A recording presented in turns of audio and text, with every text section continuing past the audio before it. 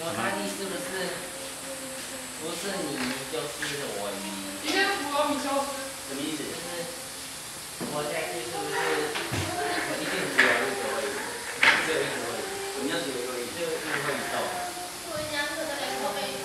两两个没动啊？不磨，你想想看，那还是摩擦体了。我这样摩擦，握摩擦力，握施力，它不会动啊？假设我这样让推力啊，可是如果这样子情况之下，我这样推了，握在施力啊，可它没有在移动。握在施力，它情况我的力怎么样？被它吃掉。被谁吃掉了？力太强啊，但是有没有摩擦力？有摩擦，所以我有个推力，我有个力往这边推，对，我的手往这边推，我的手的力被谁平衡了？哎，底下没在动嘛，那底下有平衡，那我们今天讲桌面上好了。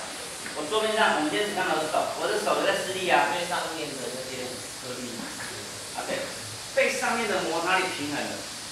简单来讲，如果说我们说摩擦力，我们要把细微来看，什么叫摩擦力哈？我的手上面有一个一箍一一撸一撸的，对不对？这就像是摩擦力一样。我在施力的时候呢，我这一只手会向下移动，施力向下施力。可是它们因为靠在一起，如果是向下这样子靠的话，它们之间是不是顶着？它没办法移动啊。所以你要必须施力施力施力施力，施力到什么情况它开始移动？可以打破那个。可以，一个是打破，一个是你施力的时候它会向上一点点嘛，对不对？因为它的斜面，对不对？好聪明哦。它会向上一点点，当它可以开始移动的时候，它就移动了。好，一个是打破，就是这是刮痕嘛。所以你看我这样摩擦有没有刮痕啊，滑对不对？是它只是因为我们的接触面都会有些小小的像波浪这样的东西哈、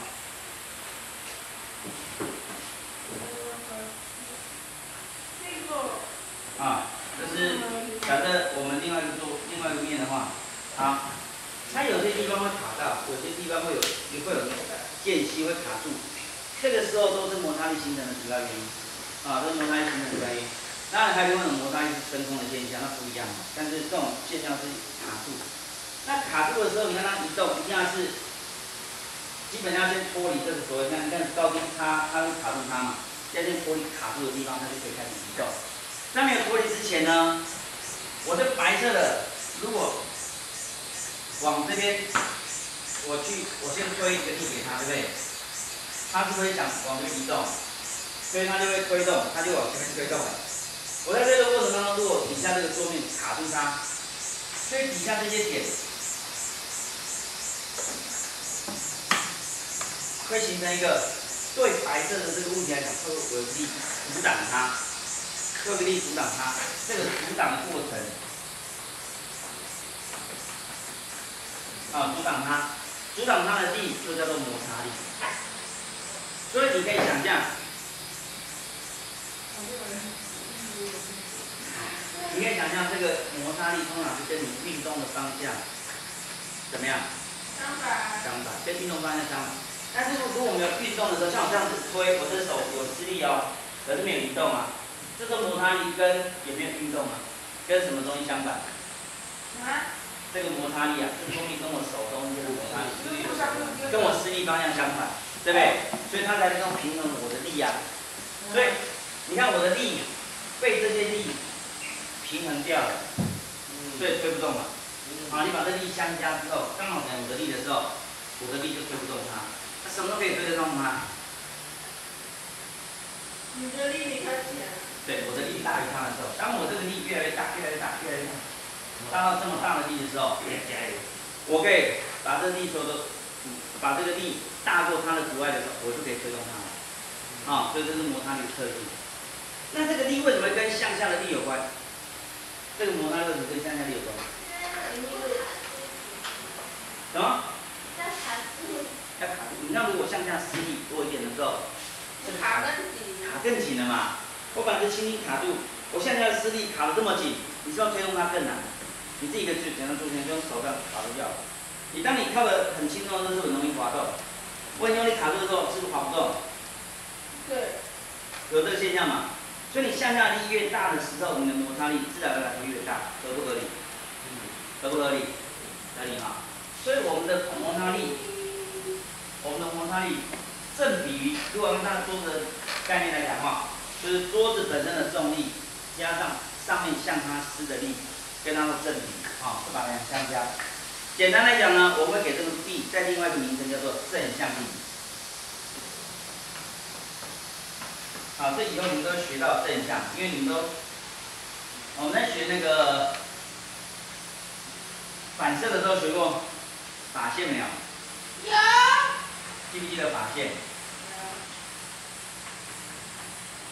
法线的英文叫做 normal line。normal line。什么是 normal？那我就是正正正常的，对，就正常的好，正正线。正常的。那或者我们如果在物理学相关数学上，你看正方向，什么叫正方向呢？这个桌面上的 normal line 在哪里？normal 的方向在哪里？这是方向吗？是啊。啊，垂直于桌面，就这个桌面上有一条线的方向，这条线的方向垂直于这个面，我就说那是它的方向。啊，如果英文叫 normal direction，就是它的正向，啊，它的正向，它的正向。所以简单来讲，假设这里有个平面，我的光打进去了，啊，这条线叫做 normal line，对不对？normal line 什么意思？是发线。是垂直于这个面的线叫法线，也叫 normal line 的意思，啊，是正向，啊，正向，这叫法线，啊，这个方向叫正向，好的，normal，因为我们在查一个东西，我们去给系统做，给这个东西一些名词做定义，定义完之后，我们在以后讲这个东西，大家知道我们在讲什么东西，好，在意吗？要正向，所以呢，这个桌面的正向在哪里？好，这个方向叫正向，对不对？这个接触面的正向在哪里？也是向下啊，这个啊，就是这个垂直方向是正向，OK。所以我们说摩擦力正比于什么？这个方向的力，对，叫做正向力，这样可以接受吗？对。摩擦力的大小正比于正向力，正向力越大的时候呢，摩擦力就越小哦。大。所以我向向下力的向下施力越大，都反而越容易推。对啊。对哈。对啊。非常好，你的物理世界跟我们不太一样。啊，基本上你向下压的力越大，都这个桌子越不能推动，对吧？合不合理？我坐着，你比较好推动吗？告诉我，比较好推动吗？没有。啊，为什么你刚刚告诉我说？因为真的是那个物体机。啊，可是你刚刚告诉我说，你向下施的力越大之后，这那个摩擦力越小。是哪一个？就是上下力越大。摩擦力越大。啊，摩擦力大，因为摩擦力跟我们的正向力成正比哦。有没有问题？有没有问题？有没有问题？没有问题。区域没有问题吗？嗯。好，所以你再看一下，我们会这样写哈。这是谁？这是。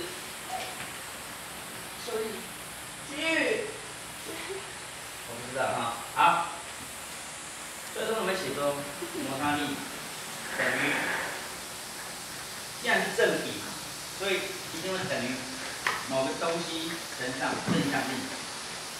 我们可以叫叫 F n 好了。N 是是 normal force 啊，normal force 就是正向力的意思。正向力什么意思知道吗？正向力什么意思？就是垂直于这个面所施的力。啊？垂直这个面呢？K 是什么？K 啊，K 是什么？K 是个系数。啊，K 是不系数。简单来讲，我们在学第一次学 K 是学什么？我们在讲 F 等于 K，X，记不记得 Kx？这是胡克定律啊。胡克定律中我们讲的说，力是跟距离成正比。那这 K 是什么？K 是什么？哎，这是什么？当我们说这是胡克定律的时候呢，我们的生产量，我们的伸长量，我们的伸长量 x 跟 d 成正比的时候呢，这 k 是什么？k 什么？刚刚的长条。我那边是 f。，F 是力啊那一个是什么？，X 是距离啊，正常量啊。k 是什么数字？K 是什么数字？这个 K 哦越大代表什么？因为这个那个代表代表力那个是什么？啊？这个只是它们的生产量啊。就是生产力越大。这是一个数量。什么意思力越大代表生产量越大。？K 越大代表生产量越大。对啊。想一下哈、假设一公分代表一牛顿，K 多少？K 多少？一两个除以一。哦，一牛顿除公分，对，非常好，一牛顿除公分，啊，非常好。可以代表一牛顿除公分。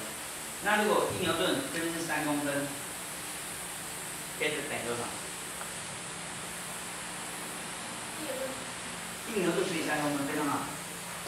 刚刚是一牛顿除以一公分，对不对？现在是一牛顿。除以三公分，所以谁比较大？是一公分的比较大，一公分的 K 比较大，一还是三公分的 K 比较大？一公三一公分 K 比较大，对不对？什么意思？我们想一下这个这个意思。好，我们回来这个定义啊，因为这边刚好讲到一点点，一点点这个关键词。这个是指知道意思吗？我们从这图对到这个式子，知道意思吗？知道意思吗？哎，不知道意思就举手，那个举你的到底哪里不知道？哦哦啊好，不知道这个意思，我简单解释一下。我身上一公分的时候，如果力是一牛顿；身上两公分的时候，力是两牛顿；身上三公分的时候，力是三牛顿。那我就可以写个式子，F 等于一 x，对不对？啊，一公分的一牛顿，两公分的两牛顿，三公分的三牛顿，可不可以？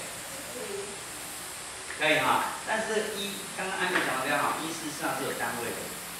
假设这边的单位是牛顿，这单位是公分的话，这个一其实的单位是什么？是公分分之牛顿。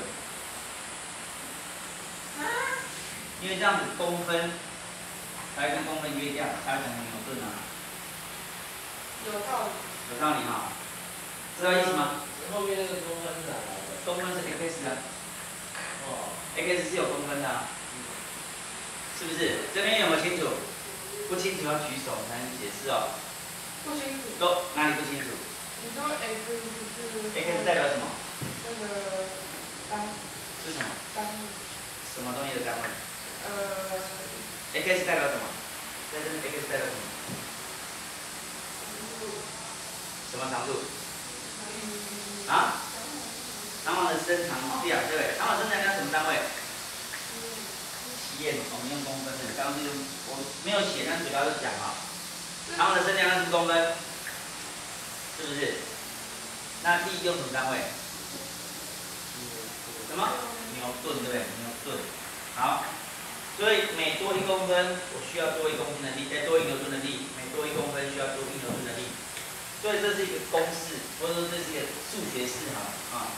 数学式我们就可以写下来，是讲这样的关系。所以这样子我就可以推论啊。假设我现在伸长了七点三公分，我需要多少力？是不是 F 等于 K 乘上七点三公分？是不是？是不是？是不是？那这 x x 会等于多少？k 是什么？k 就要回到我们原来的计算啊。当我们不是有做个表？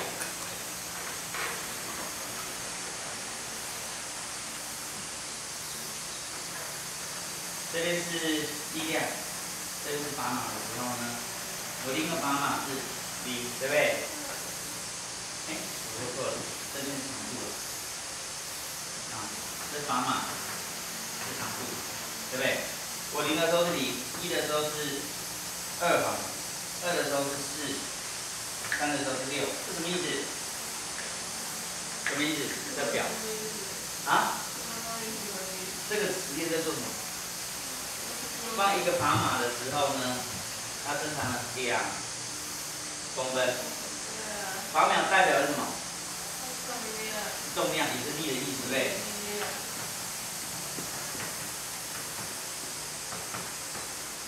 哦，砝码就是代表重量，也是代表力的意思。所以在这个弹簧拉了一个力，就会让它拉长。你的力越大，这个弹簧长度越长，对吧？所以力越大，弹簧的长度越长，对吧？你可以从这东西推导一个关系吗？我们在数学上学过面积方程式没有？学过电离次方程式没有？学过吗？y 等于 ax，学过没有？是有一次了。哎，这不是一元一次，事实上，像这是三元一次啊。这三元一次，因为它有三个未知数啊。但是因为我没有把它写出去，所以你看不出它几元几次啊？为什么？因为呢，当你把 x、y 带进去的时候，它就变一元一次啊。你看，x 是 y 等于零的时候，等于 a 乘以零嘛，这几元几次？一元一次吧。那你把这个再带进去的时候得到什么？表示 y 代表长度。哎，不是，对不起，y 是力量，x 是长度的时候呢，我们带进来。那带进来这个是为什么？y 是力量，所以一等于 a 乘上二，是不是？这几元几次？一元一次。啊，a 可以得到一个结果，a 是多少？二分之一哈，这是数学，因为数学很简单，因为数学都没有单位哈。好，二分之一，所以我们就得到一个结果了。所以是不是可以知道我这个这个公式就是 y 等于二分之一 x，可不可以得到这个结果？这个意思是什么？就这个实验得到这个结果是什么意思？是什么意思？来，解释一下，什么意思？去？什么意思？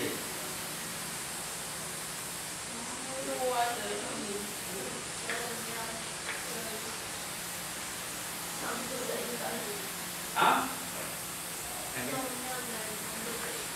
重量等于长度的一半。对啊，我怎么解？这意思说，我们先不考虑说它的这个代表意思，就是说，当 x 值出现的时候呢，y 的值是 x 的一半，是这个意思。y 的值是 x 值的一半，是这个意思。x 是 y 的一半。x 是 y 的一半，哦，y 是 x 的一半。那么因为二分之一在这里啊，y 是 x 的一半啊，嗯。对不对？所以 x 等于一的时候，y 等于多少？x 等于三的时候，y 等于多少？x 等于三的时候，y 等于多少？你不要想啊，看这边嘛。x 等于三的时候，y 等于多少？一点五嘛，等于二分之三嘛。对对对对。对啊没有错哈。所以其实这很简单。那当我们把物理的意思放上去的时候，x 等于什么？x 长度。所以我看到一个东西，它拉长了三公分，我就可以知道它的 y y 代表砝码，那相当于几个砝码？是二分之三个砝码，是吧？所以这关系就出来的。这关系就是我们从数学，你们有学过函数吗？有学过函数的对不对？函数跟一元一次方程式、跟二元一次方程式、三元一次方程式、四元一次方程式之间的关系。什么？谁比谁多？为什么 y 要比 x 多？从这时间上看起来是一个砝码就拉长两公分，对不对？那 y 是砝码，一个砝码等于两公分，两个砝码等于四公分。为什么砝码一定要比长度多？没有一定的道理。我只是说，所以说你看这边的这个 x 这二分之一代表什么？是不是刚刚写那个东西？x 等于 a x 是这个 k，这是 k 代表什么？什么系数？所以你想一下，这 k 大一点，或者 k 小一点，代表的是什么意思？代表斜度，这是数学的意思嘛，代表它斜率，对不对？啊，可是斜率代表什么意思？在物理上代表什么意思？斜率越大的代表什么？代表弹簧很硬还是弹簧很软？啊，认真的看话，对，越长越硬。越大越硬，对吧？你想想看，我那长一公分，如果这 K 值很大的话，表示我需要很大的力，是不是这样子？我 K 我 K 值如果很小，呃我一公分的弹簧拉伸一公分，我只要一点点力啊，不是吗？嗯，是不是？我的 K 值是不是由力量来决定的？是不是？这 K 值啊，这 K 值是由我这个弹簧长度跟力量的关系来决定的，对不对？我如果拉一点点，我需要很大很大的力，我不是拉一点，我拉一公分，我需要很大很大的力，K 值很小还是很大？很大，对不对？一公分的，一公分，如果 K 值很大，力是大还是小？而且你说你说你拉一公分，我拉一公分你拉一公分，然后才，K 值如果很大，我拉一公分，你拉一这个 x 是一的时候，我如果 K 值很大，表示我需要很大力还是需要很小力？如果 K 值很大，表示你需要大一点的力，对吗？这样对不对？对，所以你看着这边就知道了。所以我们在做这个实验的时候，我是决定了 K 值，我实验可以决定 K 值，有可以吧？我 K 值一决定之后，我就可以知道说，哎，这弹簧是很硬的弹簧还是很软的弹簧，所以 K 值基本上叫做弹性系数。OK，所以 K 值决定有没有问题？有没有问题？徐你确定没问题吗？我看你声音有问题啊，你们一直快晕倒了啊。所以你们想一下说，K 值的意思是什么？就数学意思来讲，就是一个斜率。所以你看，以这个斜率看来来讲的话，斜率越小的，斜率越小的，它代表意思是什么？它的弹簧弹簧比较软，不能说很烂，因为其实我们有时候需要软的弹簧，不一定是软性的弹簧。斜斜率越高的表示什么？弹簧很硬啊，像弹簧硬很软，意思相当于说，这是一个尺，对不对？你看这尺其实也可以拿当一个秤啊。我如果把这边固定起来，我把东西放这里，会发生什么事情？要凹下去。我可以从这距离来决定这个东西重量，其实可以的。为什么不行？现在断掉之前，在断掉之前，实际上你还可以做出断掉现在在弯的这个距离哈，也会有大概是这样的关系哦，它是它是会带来这样的关系，啊，所以你可以取一个比较近似正比的关系的范围，当成我们测量的范围，实际上是可以的哈，所以每个东西都有这个现象哈，所以我在拿这个尺用这样的方式当秤的时候呢，我这边放东西，我可以去量这边的距离，我像这样拉伸多少？这个也是一个 x 嘛。我放的东西是不是我的重量哎？F 这边有个 x 哦，所以假设这是个塑胶尺，我把它放一个铁棒，铁棒会向下，铁棒会向下，会也会哦。它这向下的长难度是不是很难？怎么样？啊，软一点铁棒哦，没有错。所以不同的铁棒会有不同的这个 K 值。好了，你看起来非常累了是吧？那我们就写作业，好不好？那我就在上课了，应该在上课上面。我们可以让给三一点的，你说，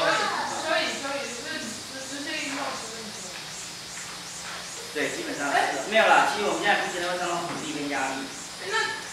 我觉得，我觉得这东西我们可以讨论一下，因为我觉得我不太清楚，像比如说像明颖跟徐宇上来上面睡着了，你也是更早就睡着了，那玉涵都没有回应，然后大家有时候会眨眨眼睛，然后大家会觉得哎上讲累，那上讲累的原因是什么？我们可以讨论一下吗？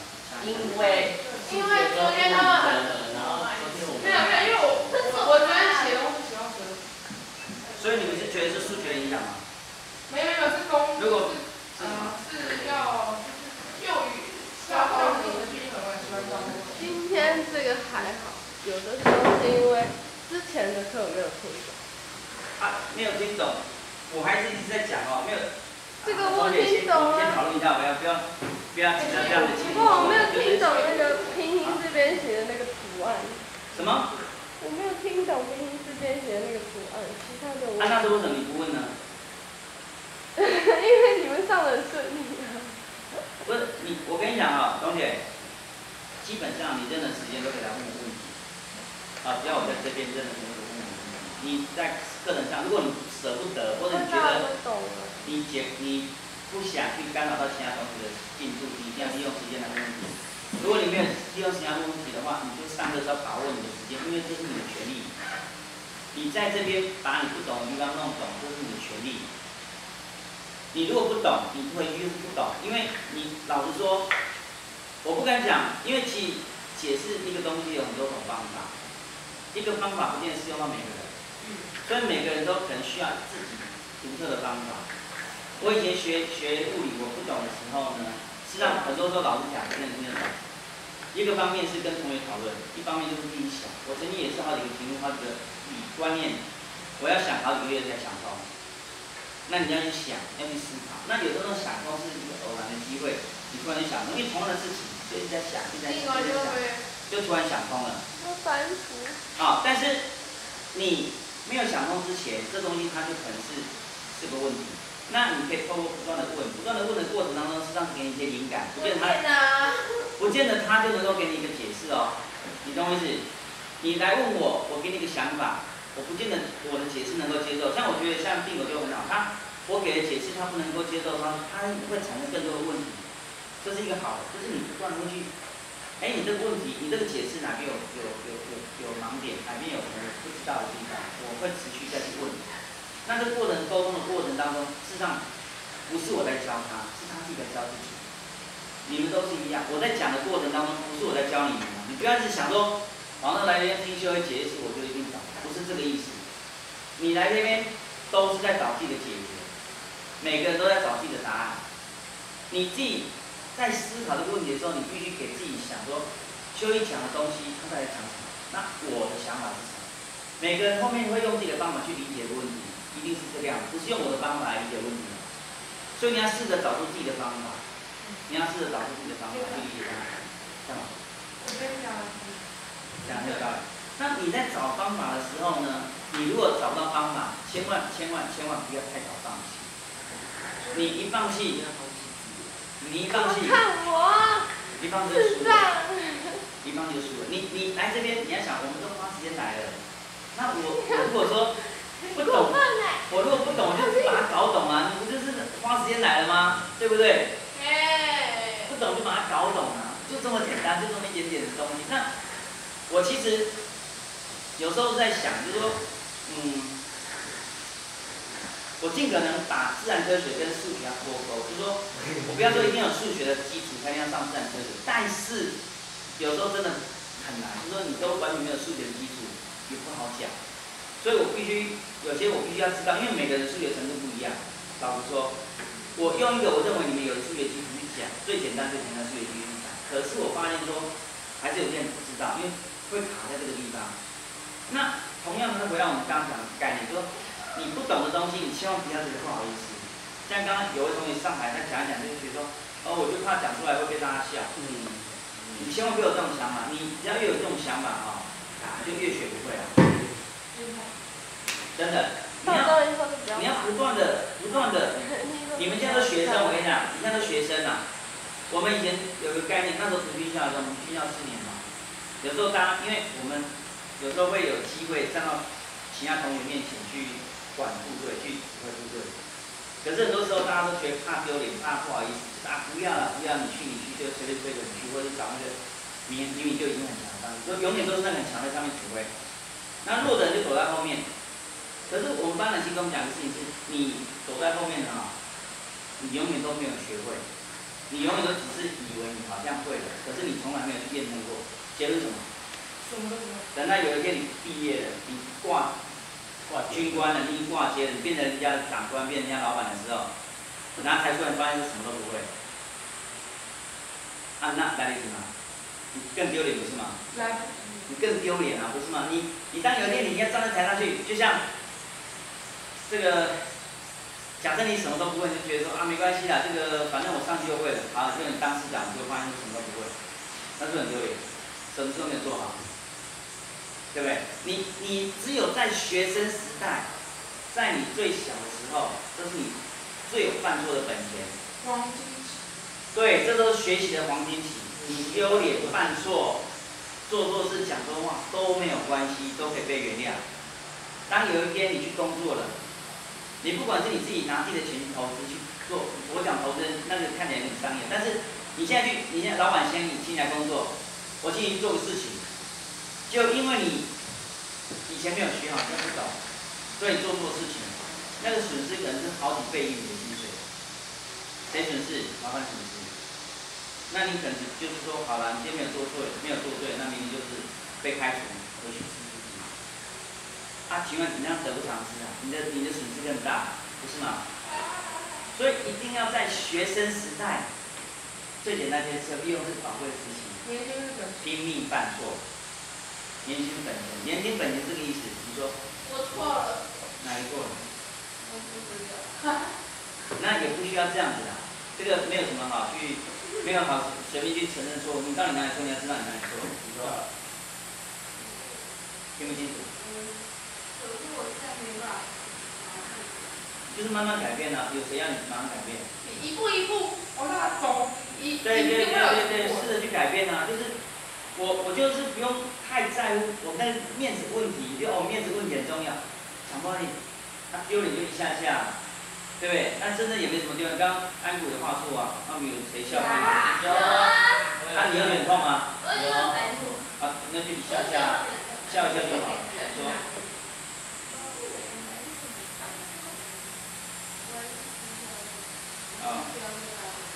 有什么关有什么关系？你怕在大众面前丢脸的？呃，对不起，呃，那我先出出出。啊，你没听清楚，我是我是说，我不要在大众面前。啊，那那我是觉得，大家都请你回来。大家请你回来。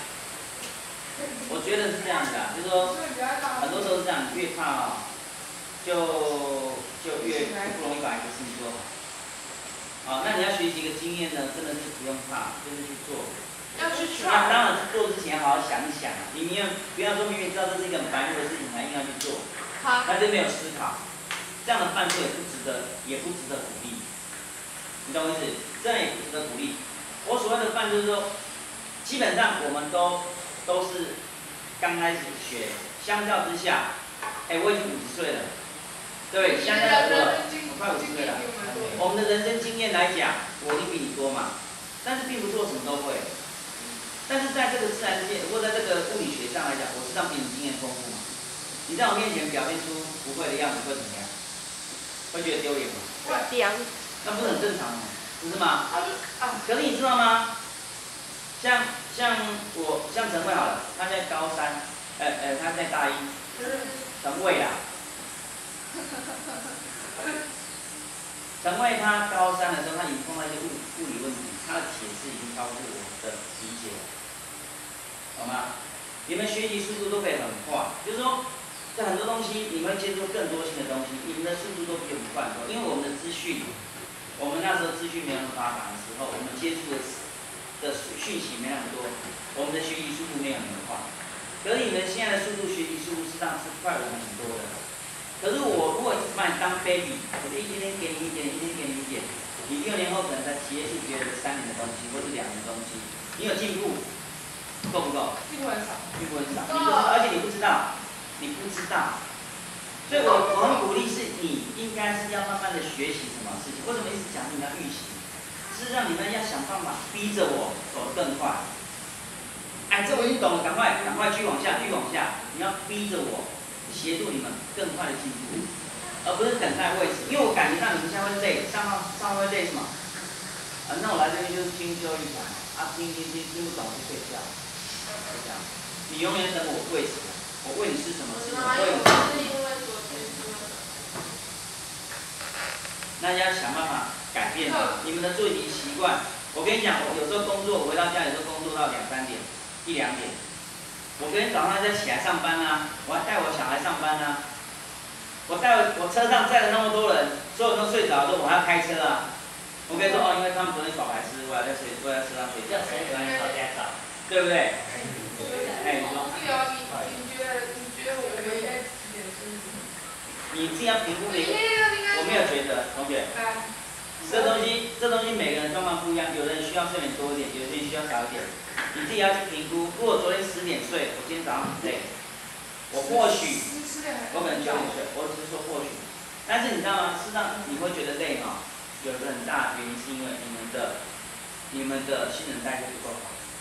有些同学运动量太少，有些同学运动量太少，之后导致你新陈代谢不够快。你新陈代谢不够快的时候，你身体会累积一些毒素，这些毒素会让你累，会让你不舒服。对，那你们就不是过度，你们是运动过度，你们是运动过度啊，你们是过嗨啊，要超刚好的。你超刚好一个礼拜只有一次也不够，一个礼拜至少你们这个年纪啊，你们这个年纪，我老子 OK，那很好，骑多远？七公里不够。你们这个年纪，你们这个年纪，老实说，我认为啊，你们这个年纪至少每天都要运动一次，每次至少半小时，基本量。你们这个年纪哎，啊，这个年纪基本量是这样的。你说那个三三三啊，教育部讲三三三，那是给基本上是上年纪大一点，然后然后然后呃，就是正常，那个是一个很低的值啊，就那是基本值。但是我认为你这个年纪正常的运动量应该是差不多。对，在打是。每天至少三十分钟，每天至少三十分钟。一个小时。对对对，那很好。你一定要超过三十分钟，骑脚踏车七公里，那就一下下就我还回结束。去的两。你都是平干股。啊，然后然后至少要让自己有流流汗，啊，要流流汗。啊，你如果有流流汗的话，是这样可以促进你这个新陈代谢。所以你通常你会觉得累，我觉得是两个原因，第一个是没有睡饱，第二个是没有新陈没有新陈代谢。啊，新陈代谢太弱了，你说你你就是我。我我觉得你如果这样，你不要再举手了，你一直举手都根本不讲，举手就不讲，那我知道。那你那你说啊，刚刚就会觉得你为什么不强迫？就利用这次强迫你自己就把问题讲出来了。哎，你说。你们听过，然后就马上就忘。我最近都是。OK，啊，我忘了，啊，我忘了你你最近睡不好，所以每个人状况不一样，你要去找自己的原因啊。我找自己的原因，就是有些人可能是想太多，有些人可能运动过量，像昨天陈玉跟我讲，他是运动过量，所以昨天睡不好。但是有人说现在你们在耍白目，所以一定有自己的事情，他是在骗我们，啊，对？没有啊，确实你的白布就是这个啊。哦，白什么？去跑步的。然后这个机我找一下。我拿几根长绒搭一你搭们。昨天几点跑步？十一点，啊，十一点跑步。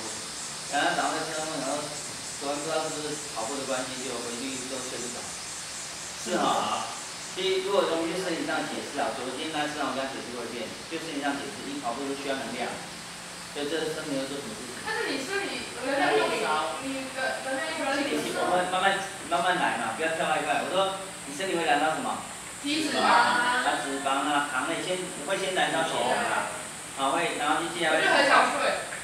然后这个过程当中，你是不断的把肝糖转肝糖转换成血糖，让你的身体可以燃烧，有有能量，对不对？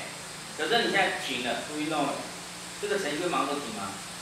不会，必须烧。它会再烧一下下，对不对？因为你身体能量过高，过高，嗯。你身体能量过高会怎么样？展现出来什么情况？休息很久，啊？我们都是什么？会表现就是不为亢奋哦。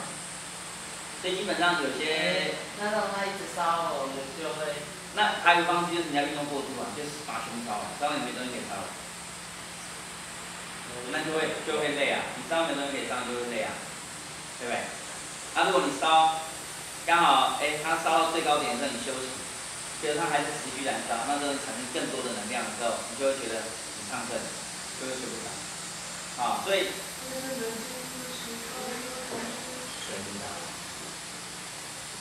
好，谢谢。哦，然后我们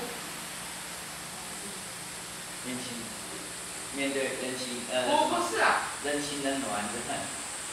好，OK，当我回观察。尝尽人呃，当我尝尽人人间呃，当我尝尽人情冷暖啊。OK，那个，所以呢，我觉得是这样子啦，没什么问题。没有。啊，基本上我还是这样建议大家啦，你回去学习，你要速度上比我多一点，比我少一点，然后尽可能你要超越我的速度。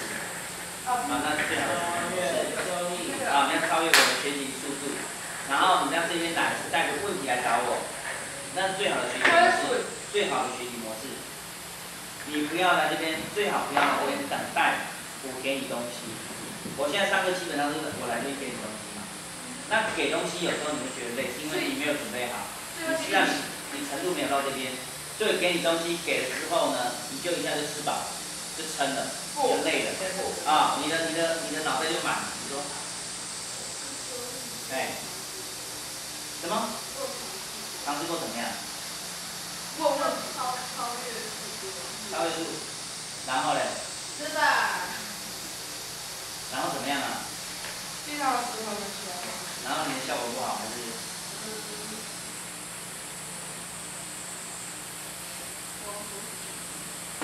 我不清楚啊，你先说这个，你是效果不好，还是效效果好？对，你尝试过结果怎么样？结果怎么样？哎还好。，OK，那有尝试过很好啊。因为其实基本上有尝试过哈，我比较期待是我上课是你有跟我互动。其实目前同学里面，基本上是莹颖啊，或者是像徐宇今天表现比较累，那莹颖是早就睡过一堂课。我基本上我会觉得，我会觉得说他们还有跟我互动哦，可是你是跟我基本上互动比较少，你说？可能才互动，我问你的时候你要能够回答。那我讲的时候有问题，你要记住，那我觉得。有时我不会。对对对对对，对，这样这叫互动啊，因为我很难相信我讲你都懂。哎，什么？刚才逼哥。哎，我听不见他讲话。听到。哦，所以那就是问题啊，所以就知道问题啊，不是吗？啊，那就不要不要不敢讲就讲啊，对不对？每个人都是一样嘛，你越不讲，对对对对对。所以我有病。对对对，please repeat again，对不对？啊，所以我有。啊，你要不断的不断的去思考。我会觉得我自己的经验呐，我不知道你们经验怎么样，我自己的经验是哈，没办法思考的时候我就会累。像有时候我我那时候去我在我在福利的时候，刚跟我们司机去出差，从司机开车，那时候北宜公路高高那个什么高速公路还没开始，还没开好，我们都走那是九万十八拐去出差，去台北然后去中部南部出差。对对对对，你知道吗？我上车我就睡着。去里面思考。对，我没有在思考。放空而已啊。对对对，然后那个车子上晃啊晃啊晃，我都我都我都睡得很沉。然后停下的时候，司机说：“啊，你太厉害了吧！你看你这样全身上一下这样子，一下这样子，然后还可以睡着。”我说：“啊，我就这样子啊，我我脑袋不想事情就很容易睡着。”啊，那因为我觉得另外状况是因为我人平常就是我平常工作的比较晚，所以睡的时时间比较少，所以我只要脑袋不动，我就对，所以躺下就睡。我基本上躺下就睡着。就像就是就是就就可以简简单来说就是一个睡不着，这样。像我也是这样。是是我我我躺下就基本上躺下就睡着，我是这样。对，很好，没有躺下就睡着。你说？啊，高配伍哈，对啊，想太多了。其实我自己的经验是，当你想越多哈，你平常像你的状况，我自己感觉上是这样。你虽然你没有问题，但是我知道你脑袋一直在想，为什么？因为你会在乎别人看法，你太在乎别人看法。现在学学俊语。对啊，根本就丢脸也无所谓，不会在乎别人看法。很蠢的问题，很蠢问题，或者是我有时候也会问很蠢问题，但是你就问出来。对对对，没有错，我们就做自己啊，做你自己最自在了。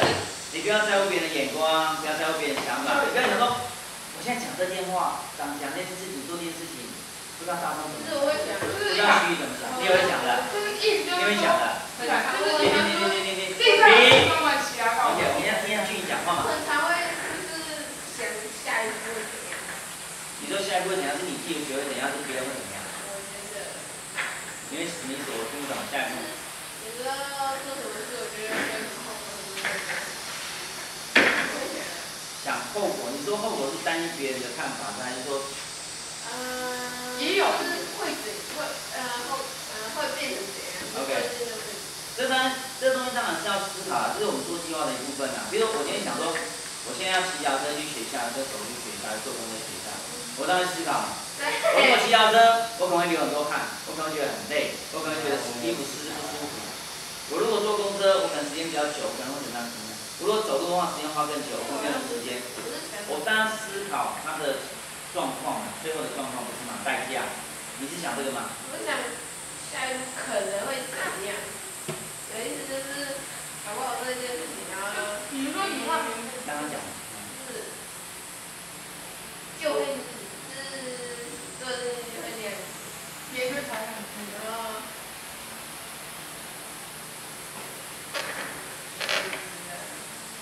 其实想是对的、啊，我们都会想，但是你知道吗？想，啊，在想这个事情吗？到底不知道。想通常会这样，你说，比如我举个例啊，我们要开，我开车要过马路，我看到这边有岔路的时候，我总是要想说，等一下万一有车突然冲出来，我要怎么办就就对不对？我要稍微想一下，这叫预想。我要想一下，我比如跟大众讲说我爱你的时候，大众是什么反应？对不对？大众可能会很生气，会很错，会觉得，我的，对。哎，所以我可以借一张问什么？谢谢。所以我们做每件事情当然就是思考到前因后果，但是这个想，通常是包含说，你我把这板让他讲，哎，安古看我一下，安古在安古什么意思？我拿着板上，安古为什么看我一下是什么意思？我必须要这样讲，对，你要做什么？不是，因为你想到没有解决的方法，你想的是在想别人怎么想，因为这个是没有答案的。你除非自己问他说，哎，安古你刚刚看我什么意思？看我什么意思，对，那就有答案。那、可是如果你只是心里想，会不会有答案？然后就开始想，会有答案嘛？骗我，对安，是不是安德在喜欢我？是不是安德在讨厌我？是不是安德在生气我？我不知道什么问题啊。那想没有用嘛？可是我刚刚想的东西，不是说想太多没有用哦。其实刚刚具体想的东西是有意义的。我刚刚想的东西是有意义的。我开车开到路口，我心里想说有一部分万一冲出来之后，我要怎么反应？这有没有意义？没有。这当然有意义，因为脑袋里面在运想说，我等下是该踩刹车，还是该踩油做什么事踩油门，还是说我该做什么样的事情，还是要减速，我要做反应啊。这个想的过程都回到我们还在街上，对，还是要结账。像有些人说过，曾经这样讲过，我我们那时候开车，我坐一个学长车，开开开，突然一只手冲出来，我那学长就啊直接急转弯啊过去，然后全程吓一跳，然后就问他怎么回事，他说有一只狗冲出来，然后我们另外一个更大的学长就跟他讲，你下次全程不能走这样子，你刚刚这样做，你没有想到旁边有车，你只要闪他，对不对？结果你一闪，如果撞旁边一部车，他、不是那部车的人也毁，了这部车的人也毁说，。他要你你要怎么去？撞上去啊，因为你撞到这只狗啊，或一个什么东西，不管，就算它其他的不是袋子，太苦是烂死的。对，其他不是袋子，你要救这人的命，还是一只狗？这当然你你这样会旁边我的。他、那个时间来不及反应啊，那那但是你你你你就是本来就是你。你本能就本来就会撞，本本能往外撞，那所以说它是危险的，所以我需要跟他讲说，当你车子那么快速在移动的时候，千万不要因为一个突然间闪现的东西，你就跟着闪现，懂吗？你这时候会，会小闪，对你这样子会撞到旁边的人啊。旁边的人，你看，本来他不知道你会闪过来，他就被你撞到，你，没有错啊，没有错啊，对不对？不是他们不是在白痴，我是说另外一个被被撞所。以说，所以说这东西我们事先想是有意义的。那 所以这件事情我们讨论过之后呢，我在开车我就有这个经验了，我就知道说，下次开车的时候呢，我就不能在车上一个东西闪出来之后，我就可惜了你。那我就知道怎么做了。可是我不会去想说。别人怎么想，这个人怎么想，那个人怎么想，因为那些别人怎么想，都对我来讲我没办法改变他，而且我没有答案，所以只是困扰我自己而已。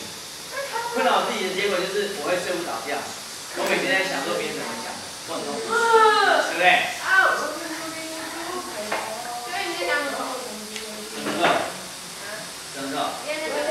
我现在吗？你刚才想什么？就应该想什么？我在想着就有人问我这个问题他是不是喜欢我？我好害怕。